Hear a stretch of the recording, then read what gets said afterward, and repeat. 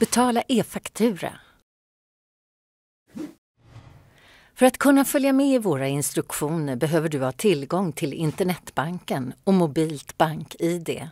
Om du inte har tillgång till mobilt bank-id kan du använda dig av Digipass eller bank-id på kort.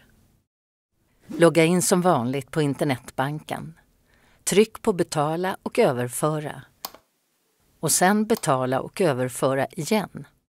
Här hittar du dina anmälda e-fakturor. Du kan välja att lägga till, ändra eller ta bort din e-faktura. För att betala trycker du på Lägg till. För att slutföra betalning av e-faktura trycker du på Godkänn.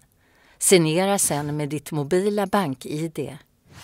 När betalningen är utförd får du en bekräftelse.